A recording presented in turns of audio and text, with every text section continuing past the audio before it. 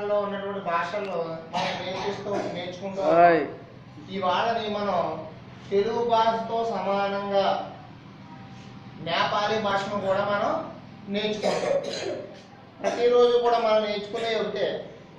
Hello what is your name?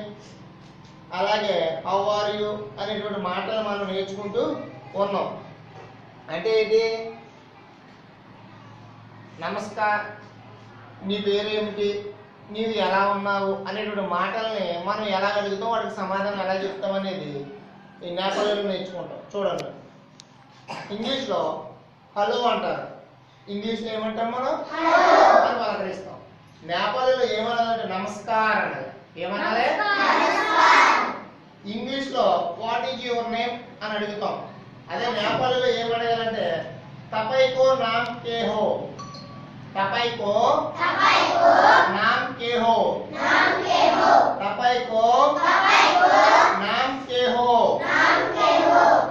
దానికి జవాబు English లో మై నేమ్ ఈజ్ లక్ష్మి అని చెప్తాం మై నేమ్ ఈజ్ లక్ష్మి నా పేరు లక్ష్మి అని తెలుగులో చెప్తాం అంటే నేపాలీలో ఏం చెప్పాలంటే మేరా నా मेरो नाम मेरो नाम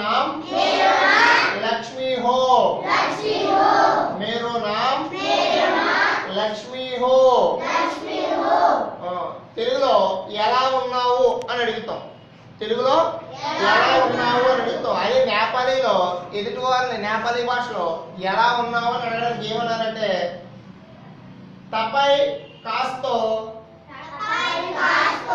పునుహున్ చా తపై కాస్తో పునుహున్ చా అని. తెలుగులో నేను బాగానే ఉన్నాను అని మనం చెప్తాం కదా.